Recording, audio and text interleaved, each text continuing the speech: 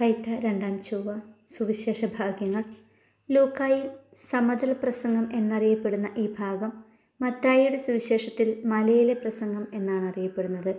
നാല് ഭാഗ്യപ്രസ്താവനകളും നാല് ദുരിത പ്രസ്താവനകളും അടങ്ങുന്നതാണ് ഇന്നത്തെ വായന. സമ്പത്ത് ദൈവിക ദാനമാണെങ്കിലും ദൈവത്തെ മറന്ന് അതിനായി മാത്രം ഈ ലോകത്തിൽ ജീവിച്ചാൽ ഉണ്ടാകുന്ന ദുരന്തത്തെക്കുറിച്ച് ഇന്നത്തെ സുവിശേഷം മുന്നറിയിപ്പ് നൽകുന്നു. ഭൗതിക സമ്പത്ത് കൊണ്ട് ഈ ലോകത്തിലെ സകല സുഖങ്ങളും സംതൃപ്തിയും അനുഭവിച്ച് ജീവിക്കുമ്പോൾ നിങ്ങളുടെ ആശ്വാസം ഈ ലോകത്തോടെ അവസാനിക്കും.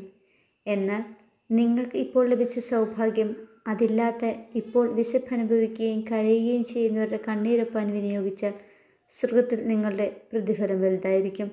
ഈ ലോകത്തിലെ ദാരിദ്ര്യവും ദുഃഖങ്ങളും ദൈവാശ്രയത്വത്തിലേക്ക് നമ്മെ നയിക്കുമെങ്കിൽ സ്വർഗരാജ്യത്തിൽ അത് വലിയ സൗഭാഗ്യത്തിന് കാരണമാകുമെന്നും യേശു പഠിപ്പിക്കുന്നു.